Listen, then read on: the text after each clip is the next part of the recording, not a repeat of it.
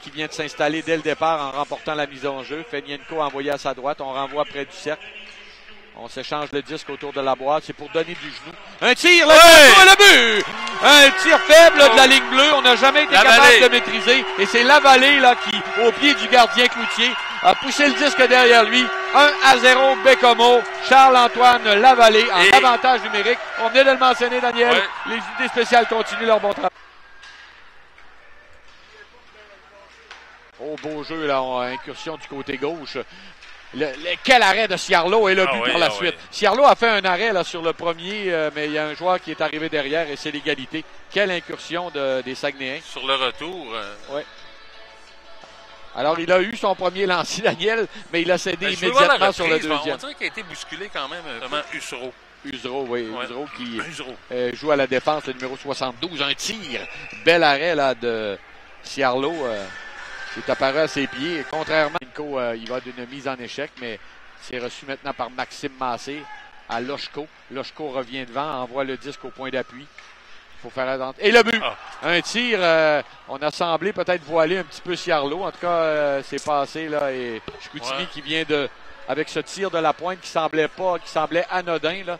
Je pense que c'est Alexis Morin qui a touché la cible et qui vient de lancer les Saguenay. On n'a rien fait qui vaille là dans ce deuxième avantage numérique dans la première période. Ah. Une mauvaise remise. Et là, c'est l'échappée. On s'en va complètement seul. En désavantage numérique, le tir et l'arrêt Oh! de Ciarlo. Quel bel arrêt de Ciarlo. Avec Fortin. Tremblay Mathieu s'avance dans le cercle. Ça dévie sur un bâton. Ça se retrouve de l'autre côté. Pénalité terminée. Est-ce qu'on pourra profiter là de la sortie du banc? On s'avance du côté de Bécomo. Bel arrêt. Beau lancer là, de la part Ouais. de La Rochelle. Ça frappe un joueur des Saguenayens. Un autre tir de Desrosiers qui rate Oh, oh, à la oh, gauche. Est-ce qu'on va s'échapper? C'est Ouais. Séguin. Séguin qui s'avance. C'est Dumont. Séguin, euh, c'est Dumont, pardon. Dumont qui Ah. entre en contact avec le gardien qui tombe. Il y aura pénalité. Et là, on se bouscule. Et là, ça brasse. Le gardien euh, semble ébranlé, là, le gardien Cloutier. Ouais. Alors, dès le départ, on va pouvoir s'installer. Rodonski a envoyé dans le cercle de mise en jeu.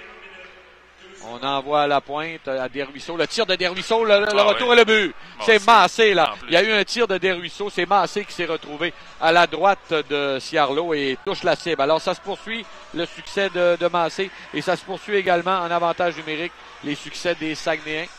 Alors, on vient de marquer avec euh, une dernière chance, là, mais euh, on a eu du mal à franchir la ligne bleue. Voilà qui est fait. Pénalité qui va se terminer, mais la menace est là. On s'avance, on tente d'envoyer le disque devant. Pénalité de Maxime Massé qui s'avance sur le flanc droit. On envoie derrière, c'est bien fait. C'est Maxime Massé, le tir et le but.